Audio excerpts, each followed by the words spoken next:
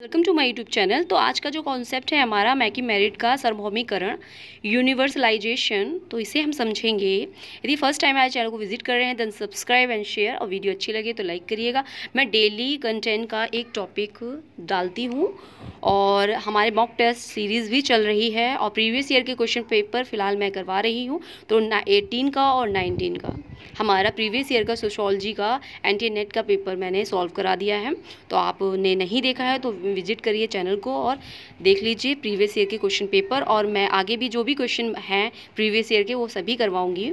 और mock test की series भी चलेगी तो आप जुड़ जाइए प्रिपरेशन करते रहिए एंटी नेट की और पीजीटी की सोशोलॉजी सब्जेक्ट से। तो चलिए आज का जो हमारा टॉपिक है यूनिवर्सलाइजेशन मैकी मेरिट का।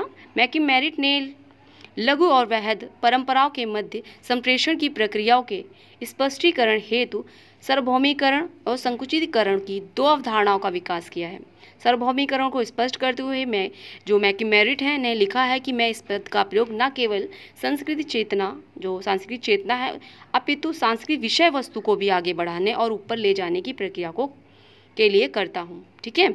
जब लघु परंपरा के तत्व जैसे देवी, देवता, प्रथा अनुष्ठान आदि ऊपर की ओर बढ़ते हैं तो उसका फैलाव जब क्षेत्र की तरफ़ बढ़ता है तब वे वहद परंपरा के स्तर तक पहुँच जाते हैं और उनका मूल स्वरूप परिवर्तित हो जाता है, जब इसी इसी प्रक्रिया को वो सार्वभौमिकरण कहते हैं। तो सिंपल भाषा में ये समझें कि ये जो लघु परंपरा है, छोटी परंपरा, उन्होंने जब वो उसका विकास होता है ऊपर की तरफ़ और सभी क्षेत्रों में फैल जाता है, जैसे देवी देवता हैं, प्रथाएँ, अनुष्ठान हैं, वगैरह सभी लोग जानते हैं, सभी एक्सेप्ट करने लगते हैं तो तो उस चीज़ को जो मैकी मेरिट हैं, वो सार्वभौमिकरण कहते हैं।